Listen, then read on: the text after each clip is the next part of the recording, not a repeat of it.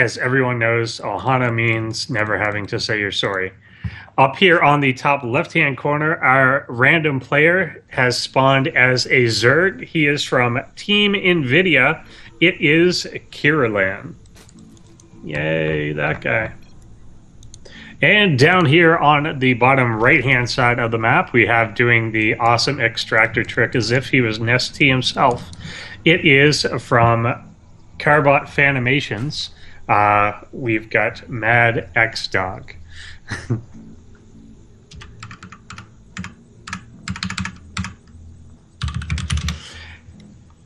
And obviously, we've just got the overlords pathing towards each other. No early pools, no early craziness uh, so far in this game, other than that really slick, awesome, sexy uh, assimilator trick. It looks like he's going to take it for real this time, extractor trick, because there's filthy zergs.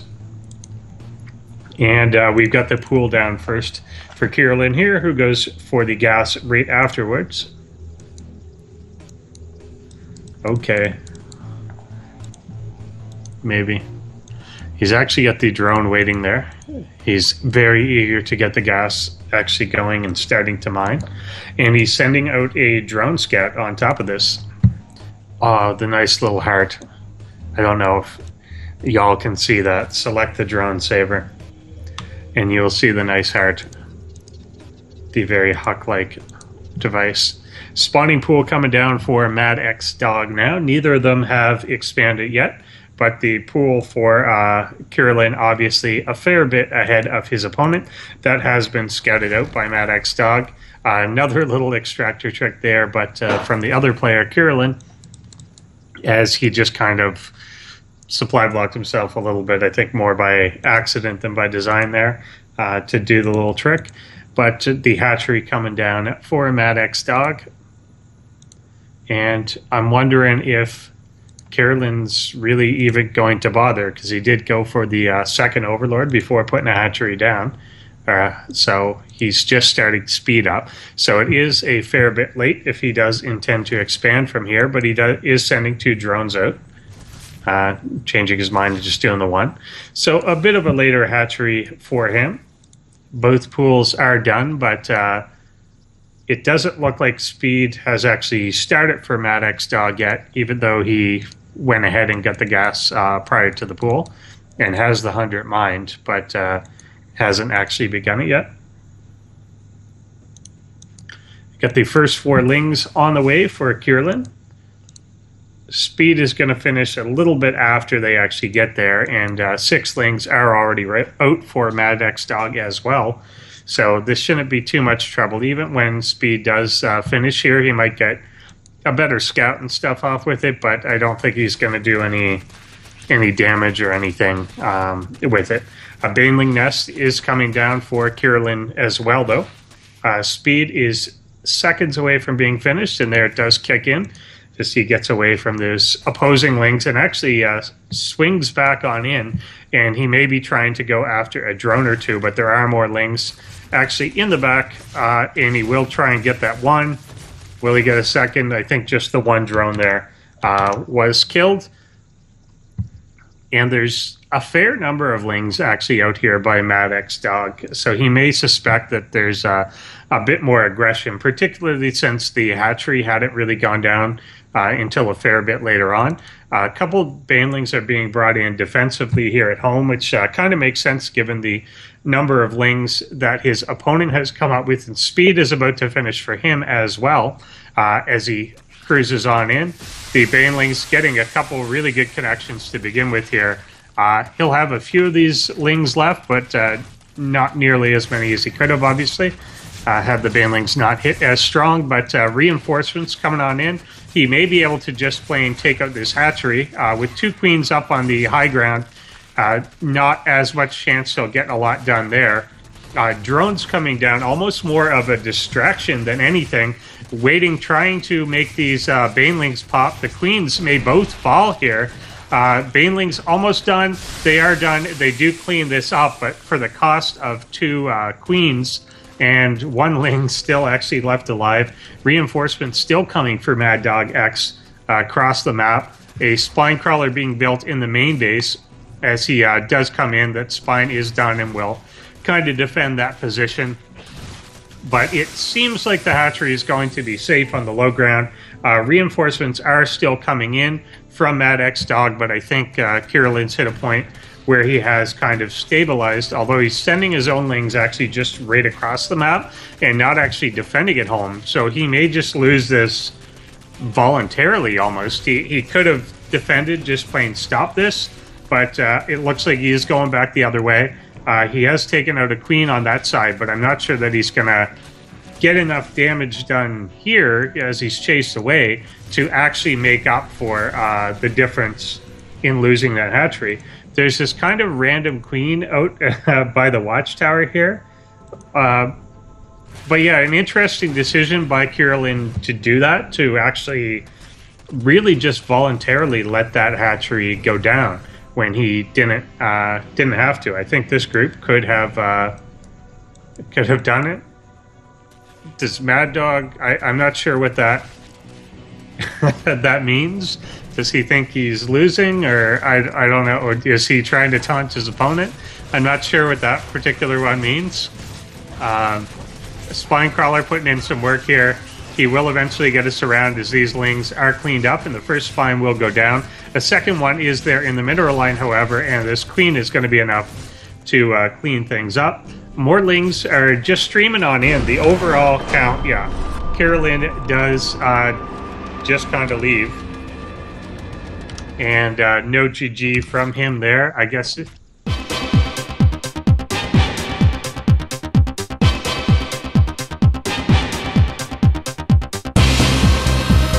Alrighty, we are back here on map number two. We are on Akilon Waste. This time around, of course, our random player, Kirulan, has spawned as a Terran. He is in the bottom right hand corner. We have NVIDIA's After Hours Gaming League uh, team player.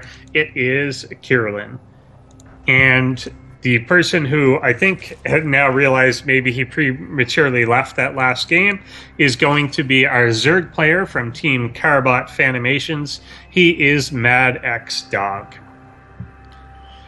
So he's already aware um, of what his opponent's race is, not due to his own scouting, but actually due to his opponent's uh, scouting coming in. I, I always found when I played random, I would often scout a little later just because I didn't want to reveal myself to them.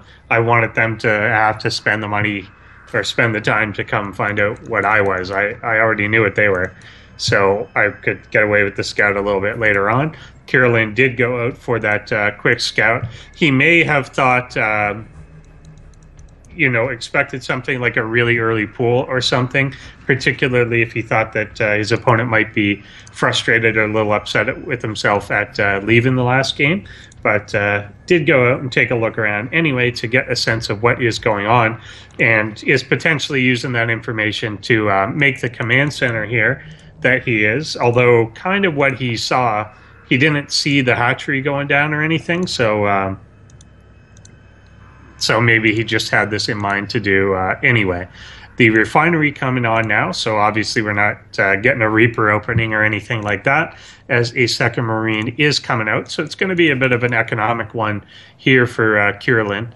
Um, one thing that can happen often with uh, random players as well is you can learn to take some economic advantages again, just because the other player can't necessarily start their build 100% optimally against you. So you can cut uh, a corner or two at the beginning of a game since you know what their race is, they don't know yours. So you can do something that may take a uh, second or two longer than it uh, than it actually should.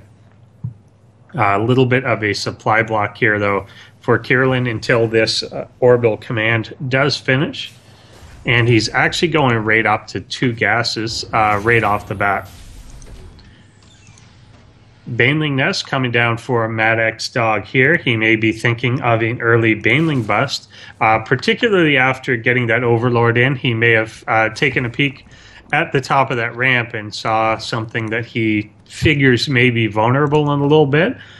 Since the command center itself uh, is being constructed, he figures that that's going to float down away. So it may be a little uh, skimpier in terms of what's guarding the top of the ramp, or at the very least, he could potentially get some damage done on the low ground uh, in the natural if uh, he's able to get some lings and banelings up into there. So we'll see how that does develop. He's already got uh, eight lings out on the map, which is a little more than you would usually do uh, typically. So he could be looking at a little bit of an early aggression or poke there, whether it's actually all in or not, uh, who knows. His opponent, Kirulan, is going uh, right up to a starport as soon as that factory is finished. And he's actually got the factory up in the air waiting for that reactor to finish. There come the early lings here, trying to prevent the bunker from going down and does force the cancel and makes this uh, orbital actually lift off. It is a pretty good number for this sort of thing. Just uh, two or three Marines are not going to be able to hold this force out, but it's not such an overcommitment that uh, you've got like 20, 25 lings or anything. He will be bringing these into uh, Banelings. And again, since the um, construction of that bunker was denied on the low ground, he may have some sense that there's not going to be one actually up on the high ground. So this Baneling bust may end up being uh, completely the right call here. Uh, Widowmine burrowing possibly just in time. We'll have to see how this hit goes off in preventing the uh, Banelings from coming up against the supply depot. But they do get the detonation off before the Widow Mine even goes. But then here comes the group. Not a great hit off that Widow Mine. Uh, going directly after the orbital, I think that's, yeah, wasn't exactly intended there. Uh, will go after, clean up the rest of these Marines. And he's got a lot of lings in here with a few reinforcing in place. The SCVs, I think kind of repairing themselves a little bit. Uh, all he's really got to worry about is that Widow Mine in the back. There's not a lot here for the Terran player that is going to kill much of anything. Uh, the individual Marines, as they pop out, are going to get cleaned up. But again, a Widow Mine does come through. He's got to get out of range of that. One little blast goes off, but it does take a Marine along with it. And a couple still alive here uh, this will get cleaned up, but a fair bit of damage has been done as 12 workers have been killed. Uh, Ling's getting a few more marine kills, but will ultimately go. Does get that uh, reactor though, and this hole is still in the wall. We'll finish this barracks off before the next marine comes out. He tried to repair it there, but that will fall. Uh, nice widow mine hit that time around. Nice choke position on that. A uh, couple lings left, and he's having a hard time stabilizing here at the moment. Uh, the medevac almost able to completely outheal the lings uh, as they do get picked off by the SCVs themselves. This uh, door is still open. Uh, oh, really? I don't know if that was intentional or not, but I hope it was, as he used the uh, widow mine to actually kill the worker that was uh, working on the barracks uh, given its splash damage. So pretty good there in delaying everything. A lot of workers have been killed here, 13, and he prevented a lot of that mule mining time, uh, caused them to be pulled off a fair bit. And it looks like our uh, Zerg player is now going to um, halt the aggression for a bit, go up to three Evo chambers. He's getting a roach warren as well with this, and uh, potentially going back to uh, droning as he does get a big round or two of those, out uh, getting plus one uh, attack and plus one range attack um, started at the same time there. So he's not just going to stick on this uh, really early uh, Ling tech. And I, I have to agree with him there. Once there's like these three or four widow mines, uh, how many are there? Maybe there are only, yeah, there are four uh, out there you know you're just going to take these stray hits uh, here and there, and so you're just kind of throwing half your forces away to continue to charge in. He did a lot of damage on top of it, um, so don't uh, don't overdo it. The Widow Mine does get uh, good detonations off. This one Widow Mine, uh, nice little hero commander, is at 20 kills. Most of those are, of course, lings a spore crawler is going down uh, to detect for those widow mines. And with a, a high hatchery done, lair done, I mean now, uh, he will be able to. Um, these, I think, will die, yeah, before they actually get back down. Uh, spore was there to give detection as he was, I think, still within range of that. So, uh, yeah, with the lair done, he's going to have the ability to have that mobile detection. He can move workers back down now um, if he does want to. Looks like he's making a round of 10 roaches, and there's still very little defense here at the base of Kirulan. He's got, I think he's literally, for a second there, literally had more medevacs than Marines. Everyone had their personal medevac. There's actually eight of them already out onto the map for less than 16 Marines. So, uh, kind of neat to see that as, of course, he continued that production uh, throughout the entire time.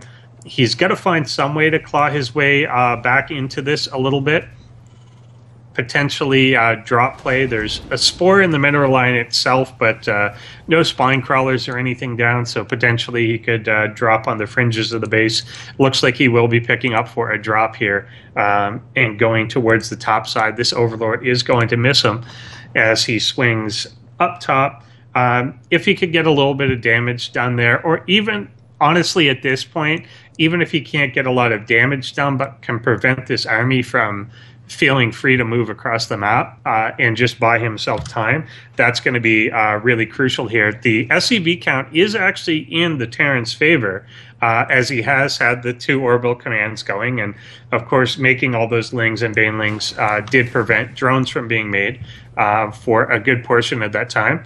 He will be dropping here at the uh, third base that his opponent is attempting to put down, and three drones will be cleaned up here. There is currently uh, no path uh, to that base as the rocks are still up to uh, ambitious lings are going to come through and actually scare this main force away.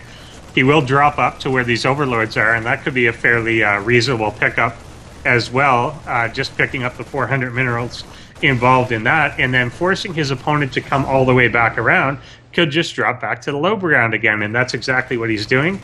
As uh, Mad Dog has not split his forces between the two bases, so he will just go after this hatchery yet again. Uh, Mad Dog is swinging back around, but it's a really long way to go back and forth here. And I think he could outright deny this. The roach is now in place.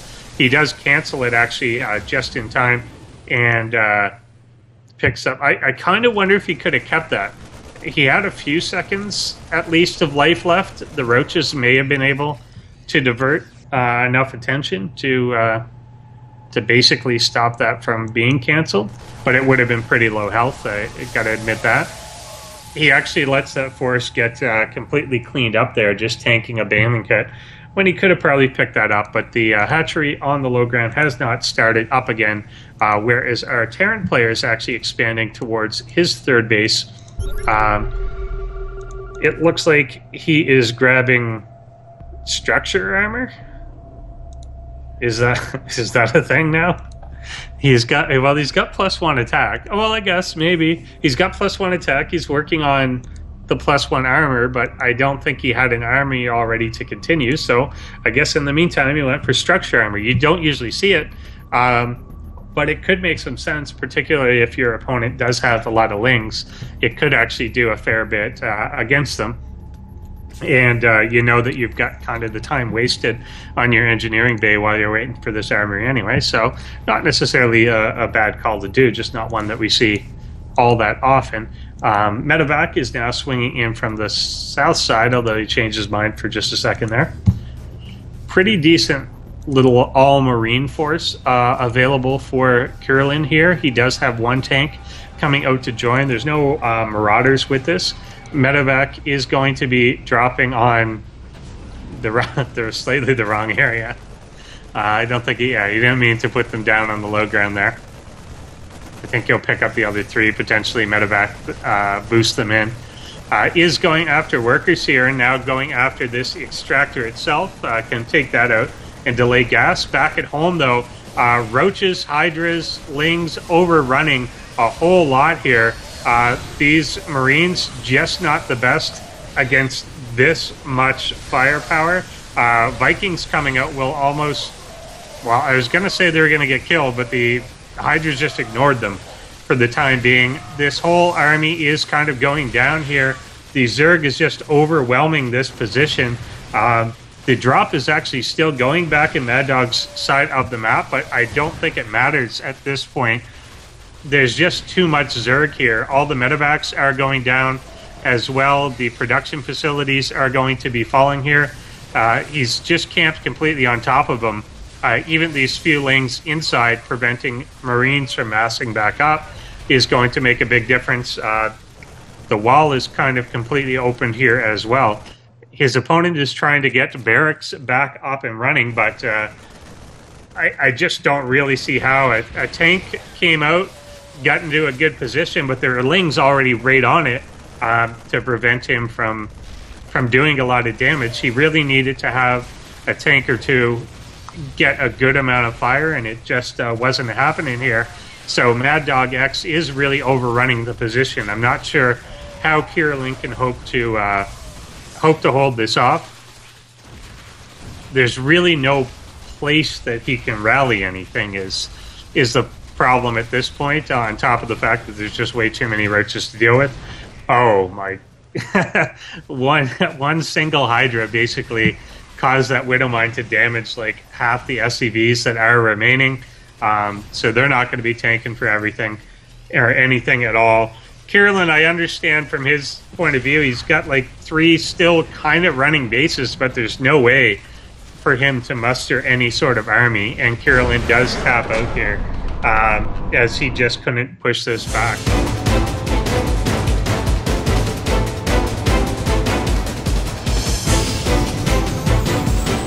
Already, we have jumped into game number three, and Mad Dog X wasting no time whatsoever. He doesn't even know what race his opponent is, but he is gone for an early pool, which is almost finishing. So, Mad Dog X, Team Carbot Fanimations up here on the top right, top right hand corner, but action is already going to be underway shortly. So, down on the bottom left, we do have NVIDIA's Kirulan who unfortunately hasn't started a pool yet. Just now, will be getting that up. So, uh, still a fair ways off. And I think he's going to go uh, throw down. No, this one is a scout. So, uh, hopefully, that will help him out. Will this Overlord catch sight of Lings coming out? I actually don't know if it will. Yes, yeah, they do wander under his vision path. So, uh, he will know that that is coming. The uh, drone actually definitely knows he does turn right back around and come home to uh, help his compatriots um, defend themselves. There are a good number. Uh, that's interesting to make the double hatchery there. I don't know if I've seen that too often, but it might not be too bad of an idea. Uh, to do this, that's going to buy a little bit of time as he goes right after the hatchery. Um, Ling's now going after one of these drones, a spine crawler, immediately going down, and six Lings are being made uh, out of the hatchery here, uh, pulling the drone mineral tricks, trying to keep a few of them alive. A uh, couple drones really, really low health here, but not actually uh, going down all that much. Eight have been killed, though, uh, as Lings do come out and clean this all up. The hatcher is canceled. Uh, up in the main base of Kirulan.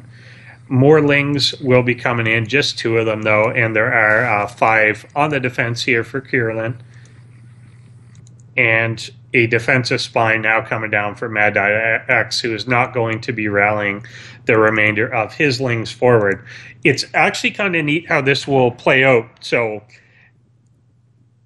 um, Mad Dog X not only did not get back up the ramp with the additional two lings, but he doesn't have an overlord. Actually, he never bothered to send it across the map. So he may be under the impression that the hatchery in the main base was never canceled. And that could make a fair bit of difference. So while it was canceled, he may be expecting a whole lot of uh, counter aggression coming out of uh, when that is not, in fact, uh, going to be the case. He's just got the original batch of lings that he made, and he's really more going to take a look around. This wasn't uh, a sustained attack or anything like that. So the situation is probably a lot different than what uh, Mad Dog X currently thinks it is. Um, and that may inform a lot of his decisions in terms of whether or not he's going to attempt to expand from this point or uh, or what's going to happen. It looks like he is sending a drone down to the low ground, and will be expanding here. His uh, opponent is not opting to do so. Just started uh, mining some gas, and he's actually uh, really loading up on lings here. Uh, definitely has enough to uh, hold off this force by Maddox Dog, who's going to get up and potentially see that there is no hatchery in the place that one had been building. He's definitely outnumbered here. Neither of them uh, has speed or really speed anywhere on the way. Uh, Mad X Dog is actually banking gas. He's not using it uh, for the speed upgrade yet. I'm not sure what that was. He's holding position and he will kind of get overwhelmed there. Now, Kirulan does have a pretty damn big uh, Ling advantage.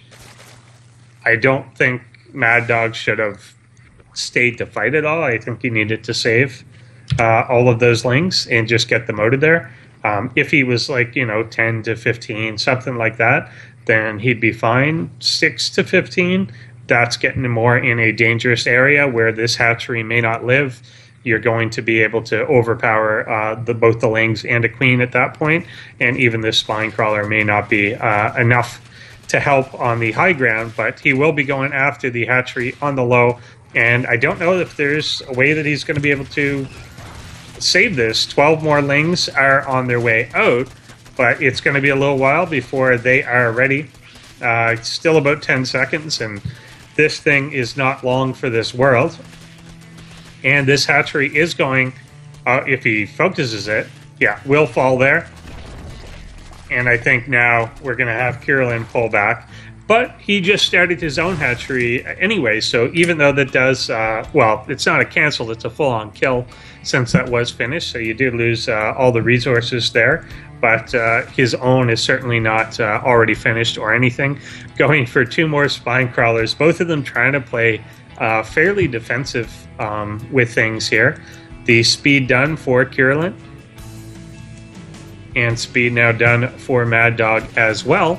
Uh, his legs have a little bit more health and maybe a few more numbers here uh, coming in. He does drive his opponent up onto the high ground, but into these uh, spine crawlers. He will want to retreat from that. But Mad Dog may now be in a position to cancel this hatchery himself, as long as he doesn't uh, just let his guys run into spines on the high ground. Uh, he's pretty much unfettered here on the low now. But uh, yeah, of course, uh, does have the option to outright cancel as opposed to uh, just plain losing uh, his hatch as his opponent did. Um, also has 23 workers compared to only 12 that uh, Mad Dog has at the moment. So the kind of long term durability is still going to go in Kirulan's favor, who, uh, although he's got all those spines it kind of clumped in that one position, he baits his opponent back into them, which uh, gives him the numerical advantage. If he had could have gotten into uh, the mineral line and done a lot of damage outside the range of those, then uh, that would have been a different story. Mad Dog, I think, views himself now as committed to this attack, and I, I get the feeling he's going to leave again. Um, this time, though, I think he's a lot more in the right to do so, uh, as he is more than half, uh, like less than half the worker count of his opponent uh, at the time. But he may just kind of decide, since the first game went how it went, that he's not going to leave and will at least try and struggle his way out of this one his opponent definitely doesn't have the kind of ability to just launch a full on attack yet, but he is going up to a lair. He's getting a roach warren, or at least he was for a second there.